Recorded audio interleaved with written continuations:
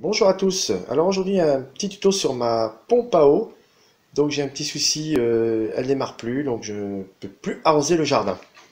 Donc euh, ma pompe c'est une KSB Multi Eco. Alors ça peut être euh, toutes sortes de pompes, toutes sortes de marques, peu importe. Moi mon souci c'est qu'elle démarre pas. Donc je vais vous montrer les symptômes. Donc je vais la brancher et vous allez entendre le bruit qu'elle fait. Voilà ce qui se passe. Donc ça veut dire que le moteur ne démarre pas du tout et il fait un bruit continu. Donc apparemment, euh, m'étant renseigné, ça serait un problème de condensateur. Je vais ouvrir le boîtier ici et on va regarder ce qu'il y a dedans. Alors, j'enlève la dernière vis. On ouvre le boîtier. Et là, donc faire attention quand même parce que c'est un condo. Alors je sais pas si vous voyez, mais là il a quand même bien éclaté le condensateur. Hein. Tout ça là c'est un surplus de, de l'intérieur du condo. Donc voilà.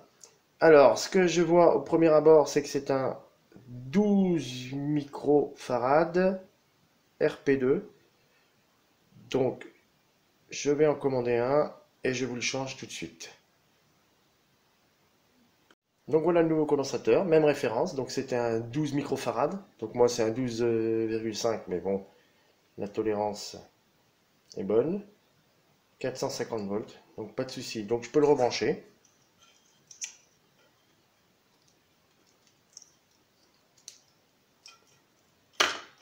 Voilà. une fois que je l'ai mis, je peux tester. Alors, euh, ça va être très rapide parce que la pompe, si elle démarre, faut surtout pas la faire tourner à vide. Voilà. Donc vous avez entendu, le moteur s'est bien lancé. Donc j'ai plus qu'à remonter tout ça.